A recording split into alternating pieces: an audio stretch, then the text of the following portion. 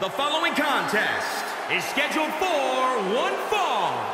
Making his way to the ring from Vancouver, British Columbia, weighing in at 306 pounds, the phenomenal one, Marvelous, Matt Matthews.